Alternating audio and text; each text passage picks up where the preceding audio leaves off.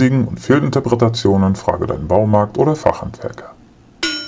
So ihr Lieben, heute möchte ich einen Teppich entfernen. Das zeige ich euch jetzt mal. Das ist der Teppich und ja, ich habe erstmal an einer Ecke den ganzen Teppich gelöst. Das, was ich gelöst habe, habe ich jetzt erstmal entfernt, abgeschnitten.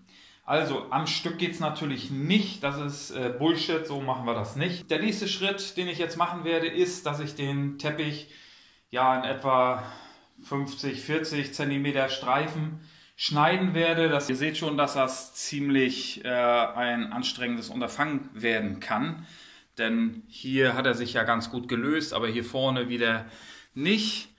Ähm, ja, man kann den dann mit einer sogenannten Teppichkralle entfernen. Es bleiben ja natürlich Klebereste äh, liegen, also nicht so wie hier, es ist ja schön glatt, da ist das alles gar kein Problem. Aber so wie hier, ähm, da sind ja jetzt Klebereste und die können wir auf ja, verschiedenste Art und Weise jetzt entfernen.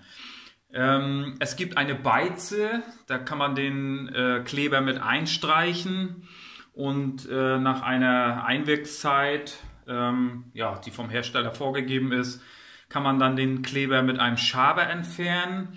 Oder man kann sich zum Beispiel auch ja, so eine Maschine, wer die zu Hause hat, äh, das geht dann auch relativ gut, ist aber sehr aufwendig. Also ich zeige euch das mal ganz kurz. Also hier wäre jetzt, Moment, da bin ich. Ja gut, der geht ja hier noch. Muss ich mal hier hingehen.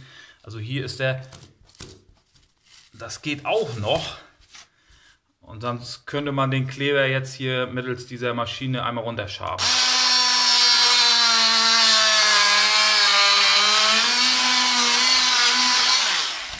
Also das geht, ist aber auch ziemlich aufwendig. Es geht auch noch, weil einige Kleber, also einige Arten von Klebern sind wasserlöslich, dass man den mit Wasser ähm, ja so ein bisschen anlösen kann. Das wäre jetzt auch noch eine Möglichkeit und das probiere ich jetzt mal als nächstes. Das heißt, die nächste Bahn äh, werde ich mal etwas anfeuchten, das ein bisschen einwirken lassen und dann mal gucken, wie äh, sich dort der Kleber dann lösen lässt, beziehungsweise der Teppich dann lösen lässt. Und ich habe es ja fast gleichmäßig hinbekommen. Wasser und eine Malerrolle. Hervorragend, funktioniert sehr gut. Eintauchen und einfach verteilen. Ähm, ja, hat gut funktioniert. So verteile ich jetzt hier erstmal ein bisschen das Wasser, geht relativ zügig. Einwirken lassen. So ein Cuttermesser leidet natürlich jetzt äh, sehr unter dieser Arbeit, speziell ja natürlich die Klinge, nicht das Messer selber, aber die Klinge, die ist hier natürlich schon ziemlich abgeschliffen. Ähm, es gibt ja auch so Hakenklingen, allerdings bringen die mir hier auf diesem Teppich ja jetzt herzlich wenig, weil der ist ja hier so fest verklebt und äh, ja durch das Laufen auch schon so dünn beziehungsweise so fest, äh, dass man hier gar nicht mit dem Haken rein kann. So, bei meinem Teppich ist es so, wenn äh, ich Wasser benutze zum etwas anlösen, dann äh, muss ich mich ja relativ zügig hier äh, voranarbeiten, weil ja, umso länger ich das Wasser hier wirken lasse, da löst sich so ein bisschen der Teppich äh, auf. Also die, die, Fasern lösen sich von dem äh, Untergrund, von dem, von dem Teppich, äh, ja, von der Unterseite ab. Und der Kleber bleibt dann noch drauf, habe ich gemerkt. Äh, ob das jetzt ähm, ja, von, der, von der Beschaffenheit des Teppichs abhängt oder ob das generell so ist, das kann ich nicht sagen, das weiß ich nicht. Ähm, aber in, bei meinem Teppich jetzt hier ist es so, dass ich das nicht allzu lange einwirken lassen kann. Ja, ich spreche hier ungefähr von fünf bis acht Minuten und dann muss ich auch anfangen, den Teppich hier abzureißen, sonst bleibt der Kleber nämlich unten. So, das sieht dann etwa so aus. Hier ist dann die Unterseite äh, vom Teppich und hier ist dann nur noch die Faser. Äh, da hat sich das abgelöst, weil ich wahrscheinlich etwas zu lange gewartet habe. Aber der Kleber lässt sich dann trotz alledem relativ gut entfernen. Circa eine Stunde weiter habe ich jetzt den Teppich so weit raus. Hier vorne sind noch ein paar Reste. Äh, das ist, wie gesagt, bei meinem Teppich halt so gewesen, dass der sich halt dort abgelöst hat, so wie hier jetzt. Das sind die Reste, die jetzt hier kleben. Die weiche ich nochmal mit Wasser nach und dann lassen die sich relativ gut noch abziehen. Ich bin ziemlich kaputt.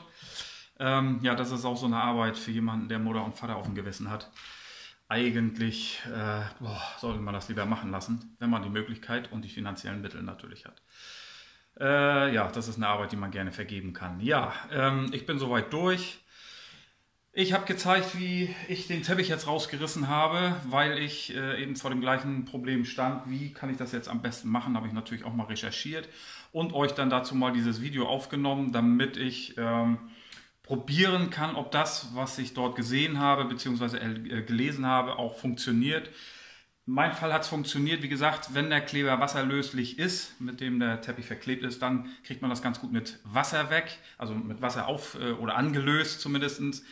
Der Teppich sollte immer in Streifen geschnitten werden, das macht sich deutlich besser. Ähm, um den, äh, diese Streifen abzuziehen, empfiehlt es sich, eine Teppichkralle sich auszuleihen oder zu kaufen. Zu kaufen weiß ich nicht, ob sich das lohnt, ich weiß gar nicht, wie teuer die sind. Ähm, ansonsten Ausleihen äh, gibt es die sicherlich äh, zum Ausleihen. Ja, ähm, wer natürlich festen Kleber dann drauf hat, den so nicht runterbekommt, muss eine entweder Beize benutzen, Gebrauchsanweisung dafür steht dann immer entsprechend beim Hersteller auf dieser Verpackung drauf oder man lässt sich halt nochmal beraten. Vom Profi-Fachmann machen lassen kann man natürlich auch, wenn man die finanziellen Mittel hat. Oder eben sich eine äh, Maschine ausleihen, äh, die dann eben diesen Teppich dann runterarbeitet. Ja, das dazu zu meinem Video hier, den Teppich entfernen, wie ich das gemacht habe. Wir sehen uns dann hoffentlich beim nächsten Mal wieder und bis dahin sage ich ciao, euer Mike.